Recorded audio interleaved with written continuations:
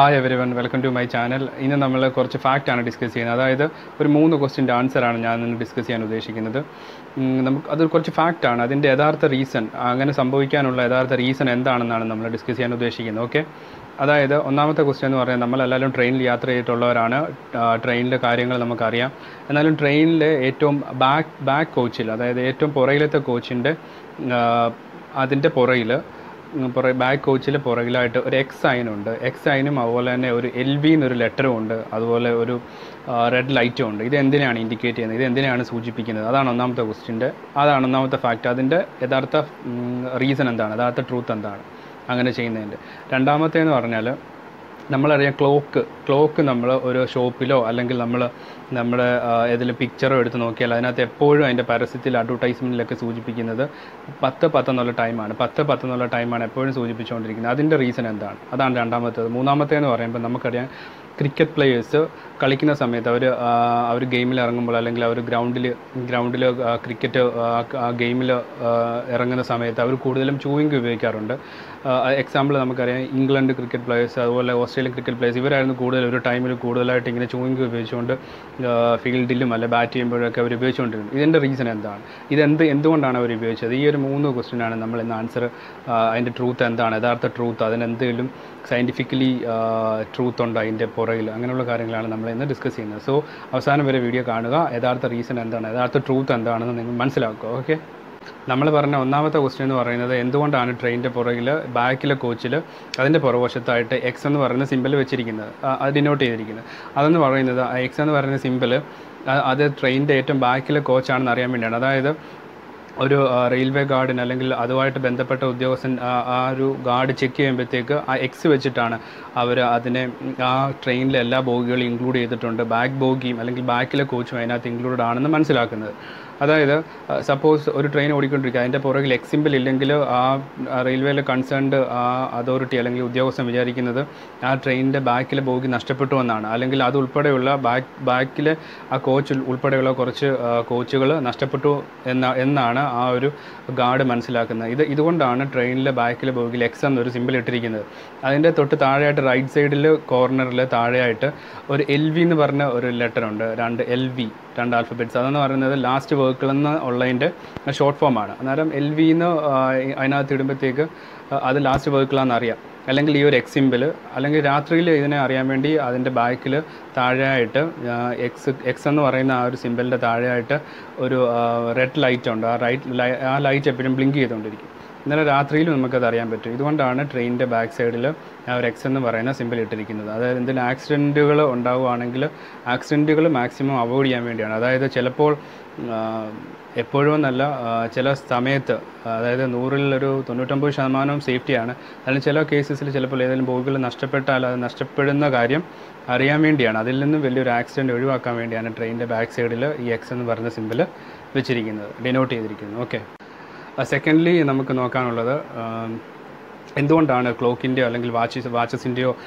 Time നമ്മളിവിടെ നോക്കിയാൽ അല്ലെങ്കിൽ അഡ്വർടൈസ്മെന്റ് നോക്കിയാലൊക്കെ അറിയാം. നമ്മൾ ക്ലോക്കിന്റെയും വാച്ചസിന്റെയും ടൈം എപ്പോഴും പത്ത് പത്ത് എന്നുള്ള ടൈമിലാണ് അവർ ഫിക്സ് ചെയ്ത് വെച്ചിരിക്കുന്നത്.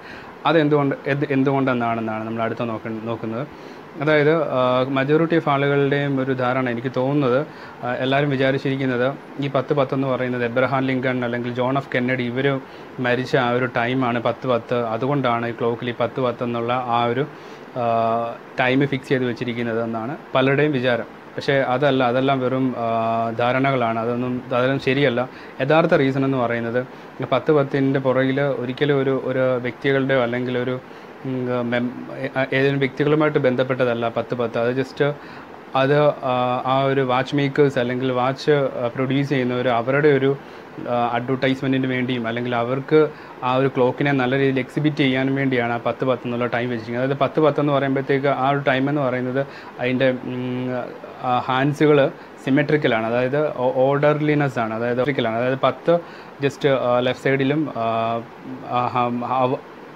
അവർ ഹാൻഡ് എന്ന് പറയുന്നത് ലെഫ്റ്റ് സൈഡിലും അതുപോലെ തന്നെ മിനിറ്റ് ഹാൻഡ് എന്ന് പറയുന്നത് റൈറ്റ് സൈഡിലുമാണ് അപ്പോൾ അതൊരു സിമെട്രിക്കലി ഫീൽ ചെയ്യും. അതായത് രണ്ടും ജസ്റ്റ് ആംഗിൾ രണ്ടും കറക്റ്റാണ് രണ്ടും കറക്റ്റ് ആംഗിളിലാണ് ഇരിക്കുന്നത്. അല്ലെങ്കിൽ അതിന്റെ ആ ഒരു സിമെട്രി അവിടെ ഫീൽ ചെയ്യുന്നുണ്ട്. അതുപോലെ തന്നെ രണ്ട് രണ്ടും രണ്ട് സൈഡിലോട്ട് ഇരിക്കുമ്പോഴത്തേക്ക് അതൊരു എന്താ പറയുക അതിന് കൂടുതലായിട്ടൊരു ഭംഗി ഉണ്ടാകാറുണ്ട് അതുപോലെ ഒരു വി ഷേപ്പിലാണ് ഇരിക്കുന്നത്. വി ഷേപ്പിൽ ഇരിക്കുന്നത് കൂടുതലും വി എന്ന് പറയുന്നത് വിക്ടറിയെ കാണിക്കുന്നുണ്ട്. അതുകൊണ്ട് അതും കൊണ്ടും കൂടെ അങ്ങനെ വെക്കുന്നുണ്ടെന്ന് പറയുന്നുണ്ട്. അതുപോലെ മെയിനായിട്ട് പറയുകയാണെങ്കിൽ മെയിൻ റീസൺ എന്ന് പറയുന്നത് നമ്മളറിയാം ഒരു ക്ലോക്കിലെ മെയിൻ നമ്മൾ നോക്കുന്ന ആ ഒരു നമ്പേഴ്സ് എന്ന് പറയുന്നത് ട്വൽവും ത്രീയും സിക്സും നയനുമാണ് ഇത് നാലും കൂടുതലായിട്ടും കാണാൻ പറ്റുന്ന അല്ലെങ്കിൽ ഇതിനെ നാലിനെയും കൂടുതലായിട്ട് ഷോ ചെയ്യാൻ പറ്റുന്ന ഒരു ടൈമാണ് പത്ത് പത്ത് എന്ന് പറയുന്നത്. അതായത് ട്വൽവ് ഒ ക്ലോക്കിന്റെ ആ ഒരു ടൈമിന്റെ താഴെയായിരിക്കും പലപ്പോഴും ഈ ഒരു വാച്ച് കമ്പനീസിന്റെയോ വാച്ച് പ്രൊഡ്യൂസേഴ്സിന്റെയോ അതിന്റെ ലോഗോസ് വരുന്നത്. അല്ലെങ്കിൽ ത്രീ സിക്സ് ട്വൽവ് ഇവിടെയൊക്കെ ആയിരിക്കും അവർ ലോഗോസോ എന്തെങ്കിലും സ്പെസിഫിക് ആയിട്ടുള്ള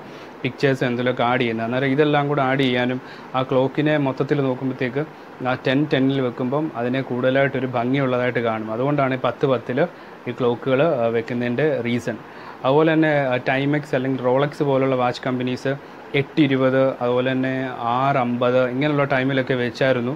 അങ്ങനെയൊക്കെ വെക്കാൻ നോക്കി. പക്ഷേ എന്നിട്ടും അത് കൂടുതലായിട്ടും അവരത് ആ ഒരു അതിനെ കൂടുതലായിട്ടും പ്രൊമോട്ട് ചെയ്യാതെ വീണ്ടും അവർ പത്ത് പത്ത് എന്നുള്ള നമ്പർ ആ ഒരു ടൈമിലേക്കാണ് വെച്ച് ക്ലോക്കിനെ ഫിക്സ് ചെയ്തത്. അതാണ് മജോറിറ്റി ഓഫ് ആളുകളും ഉപയോഗിക്കുന്നത്. പിന്നെ അതുകൊണ്ടാണ് ആ ഒരു റീസൺ കൊണ്ടാണ് കൂടുതൽ ഈ പത്ത് എന്നുള്ള നമ്പർ പത്ത് എന്നുള്ള ടൈം ക്ലോക്കിൽ ഉപയോഗിക്കുന്നത്. അല്ലാതെ ഇതിന് ആരെങ്കിലും അസാസിനേഷനുമായിട്ടോ എന്നൊരു ബന്ധമില്ല അതാണ് യഥാർത്ഥ റീസൺ അത് അവസാനമായി ഡിസ്കസ് ചെയ്യാൻ പോകുന്നത് നമുക്കറിയാം ക്രിക്കറ്റ് പ്ലേയേഴ്സ് അവർ ഗ്രൗണ്ടിൽ ആ ഒരു പ്ലേയിങ് സമയത്ത് ഗെയിമിന്റെ സമയത്ത് അവർ ചൂയിങ്കം ഉപയോഗിക്കാറുണ്ട്. ചൂയിങ്കം ഉപയോഗിച്ചുകൊണ്ടാണ് അവർ ഫീൽഡ് ചെയ്യുകയും അതുപോലെ തന്നെ ബാറ്റ് ചെയ്യുകയും ബോൾ ചെയ്യുകയും ബോൾ ചെയ്യുകയും ചെയ്യുന്നത്. അങ്ങനെയുള്ളവരുണ്ടായിരുന്നു. മെയിനായിട്ട് നമ്മൾ പറയുകയാണെങ്കിൽ ഇംഗ്ലണ്ട് പ്ലേയേഴ്സ് അതുപോലെ തന്നെ ഓസ്ട്രേലിയൻ പ്ലേയേഴ്സ് ഇവരെല്ലാം ഇങ്ങനെയുള്ള ആളുകളായിരുന്നു. കൂടുതൽ ചൂയിങ്കം ഉപയോഗിക്കുമായിരുന്നു. എന്താണ് ഇതിന്റെ സയന്റിഫിക്കലി എന്താണ് ഇതിന്റെ റീസൺ എന്തുകൊണ്ടാണ് ഇവർ ചൂയിങ്കം ഉപയോഗിക്കുന്നത്?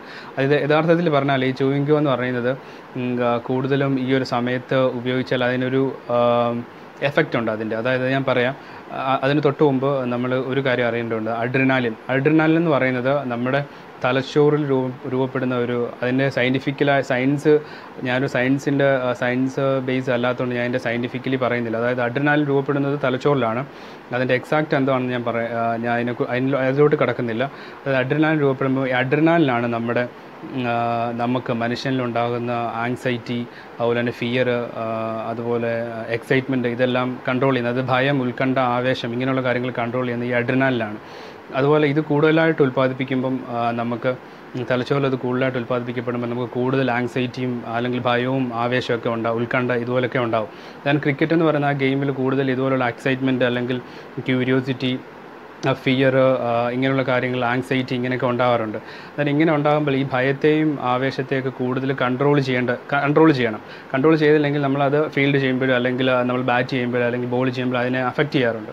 ഇങ്ങനെ വരുമ്പോൾ ഈ ഒരു അഡ്രിനാലിന്റെ അളവ് കുറയ്ക്കണം. അതായത് ഈ എക്സൈറ്റ്മെന്റ് കൂടുമ്പം എക്സൈറ്റ്മെന്റ് കൂടുന്ന അഡ്രിനാലിൻ കൊണ്ടാണ്. അഡ്രിനാലിന്റെ അഡ്രിനാലിൻ പ്രൊഡ്യൂസ് ചെയ്യപ്പെടും ഈ ഒരു സമയത്ത്. എന്നാൽ ഇതിന്റെ കൺട്രോൾ കുറ ഇതിന്റെ ഒരു പ്രൊഡക്ഷൻ കുറയ്ക്കാൻ വേണ്ടി ചൂയിങ്കം ഉപയോഗിക്കും. അതായത് ചൂയിങ്കം കഴിച്ചാൽ ഈ അഡ്രിനാലിൻ പ്രൊഡ്യൂസ് ചെയ്യുന്നത് കൺട്രോൾ ചെയ്യാൻ പറ്റും. അതിന്റെ ആ ഒരു പ്രൊഡക്ഷൻ കുറയും. ആ പ്രൊഡക്ഷൻ കുറയുമ്പോഴത്തേക്ക് നമുക്ക് കൂടുതൽ കോൺസെൻട്രേറ്റ് ചെയ്യാൻ പറ്റും. കൂടുതലായിട്ട് കൂളായിട്ട് നിന്ന് ബോൾ ചെയ്യാൻ അല്ലെങ്കിൽ ഫീൽഡ് ചെയ്യാൻ ബാറ്റ് ചെയ്യാനൊക്കെ പറ്റും. അതുകൊണ്ടാണ് ഈ ഒരു ചൂയിങ്കം ഉപയോഗിക്കുന്നത്. അതുപോലെ തന്നെ നിങ്ങൾക്ക് എപ്പോഴും ഒരു പാനിക്ക് നിങ്ങൾക്ക് ഒരു ഭയം തോന്നുമ്പോഴോ ധൈര്യമില്ലായ്മയൊക്കെ തോന്നുവാണെങ്കിൽ നിങ്ങൾക്ക് ഒരു ചൂയിങ്കം കഴിക്കുവാണെങ്കിൽ നിങ്ങൾക്ക് ആ ഒരു പാനിക്ക് അല്ലെങ്കിൽ ആ ഒരു ഭയമൊക്കെ നിങ്ങളിൽ നിന്നും വിട്ടുമാറുന്നതായിട്ട് അനുഭവപ്പെടും. നിങ്ങൾ ട്രൈ ചെയ്ത് നോക്കുക. ഒരു ചൂയിങ്കം കഴിച്ച് നോക്കുക. നിങ്ങളതിൽ പാനിക്കായിട്ടിരിക്കുമ്പോൾ അതുപോലെ തന്നെ ഈ ഒരു റീസൺ കൊണ്ടാണ്. അതുപോലെ ഇതുകൊണ്ടാണ് നമ്മൾ മജോറിറ്റി ഓഫ് ക്രിക്കറ്റ് പ്ലേയേഴ്സും മെയിൻലി പറയുകയാണെങ്കിൽ ഇംഗ്ലണ്ട് പ്ലേയേഴ്സ് ഓസ്ട്രേലിയൻ പ്ലേയേഴ്സ് നമ്മൾ പെട്ടെന്ന് ഓർക്കുമ്പോഴത്തേക്ക് റിക്കി പോണ്ടിങ്ങിനെയാണ് ഓർമ്മ വരുന്നത് ഈ ചൂയിങ്കം ചവയ്ക്കുന്നത്. ചൂയിങ്കം കൂടുതലായിട്ട് ഉപയോഗിച്ച റിക്കി പോണ്ടിങ് ആണെന്നാണ് എനിക്ക് തോന്നുന്നത്. ഞാൻ കണ്ടിട്ടുണ്ട് പല ഓസ്ട്രേലിയൻ ഗെയിംസും കാണുമ്പോഴും റിക്കി പോണ്ടിങ് ആണ് കൂടുതൽ. അല്ലെങ്കിൽ ഓസ്ട്രേലിയൻ ടീംസും ഇംഗ്ലണ്ട് ടീംസും ആണ് കൂടുതൽ ചൂയിങ്കം ഉപയോഗിക്കുന്നത്. ഇതിന്റെ മെയിൻ റീസൺ എന്ന് പറഞ്ഞാൽ ഇതാണ്. അത് അഡ്രിനാലിന്റെ അളവ് കൺട്രോൾ ചെയ്യും. അതായത് ആ സമയം അതുകൊണ്ട് നമുക്ക് കൂടുതൽ ഗെയിമിൽ കോൺസെൻട്രേറ്റ് കോൺസെൻട്രേറ്റ് ചെയ്യാൻ പറ്റും. നമ്മളിലുള്ള ആ ഒരു എക്സൈറ്റ്മെന്റും ഓവർ എക്സൈറ്റ്മെന്റും അതുപോലെ അതുപോലെ ഭയമൊക്കെ നമ്മളിൽ നമ്മളിൽ നിന്ന് മാറിപ്പോകും അന്നേരം കൂടുതലായിട്ട് അവർക്ക് കൂളായിട്ട് നിന്ന് പ്ലേ ചെയ്യാൻ പറ്റും. ഗെയിം ഗെയിമിൽ അവസാനം വരെ കണ്ടിന്യൂ ചെയ്യാൻ പറ്റും. ഇതാണ് കൂടുതലായിട്ടും ഈ ഒരു ചൂയിങ്കം ക്രിക്കറ്റ് ക്രിക്കറ്റിന്റെ ഗെയിമിന്റെ സമയത്ത് ഉപയോഗിക്കുന്നതിന്റെ റീസൺ ഓക്കെ ഈ ഒരു മൂന്ന് റീസണാണ് നമ്മൾ ഇന്ന് ഡിസ്കസ് ചെയ്തത്. ഇതിന് പലരും ഇതിനകത്ത് ഇത് മൂന്നും അറിയാവുന്നവരുണ്ട്. അതുപോലെ തന്നെ ഇതിനെ മൂന്നിനെയും തെറ്റ് തെറ്റിദ്ധരിച്ച് വെച്ചവരുമുണ്ട്. ഇതിന്റെ എക്സാക്ട് റീസൺ ഇതാണ്. അന്നേരം ഈ ഒരു ഇൻഫർമേഷൻ നിങ്ങൾക്ക് കൂടുതലും മനസ്സിലായെന്ന് വിശ്വസിക്കുന്നു. അല്ലെങ്കിൽ ഈ ഒരു ഇൻഫർമേഷൻ നിങ്ങൾക്ക് ഇഷ്ടപ്പെട്ടെന്ന് വിശ്വസിക്കുന്നു. അല്ലെങ്കിൽ നിങ്ങൾക്ക് ഇത് ഉപകരിക്കുമെന്ന് വിശ്വസിക്കുന്നു. സോ അടുത്തൊരു വീഡിയോയിൽ ഞാൻ പുതിയൊരു ഇൻഫർമേഷൻ അല്ലെങ്കിൽ പുതിയൊരു വീഡിയോയുമായിട്ട് അടുത്തൊരു വീഡിയോയിലും അടുത്തൊരു സെഷനിൽ നമുക്ക് കാണാം. അതുവരെ ബൈ